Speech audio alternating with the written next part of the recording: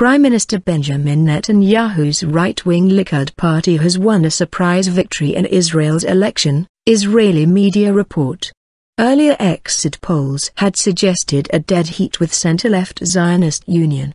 With most votes counted, Likud is said to be on course to take 29 seats in the 120-seat parliament, the Knesset, with the Zionist Union on 24 seats.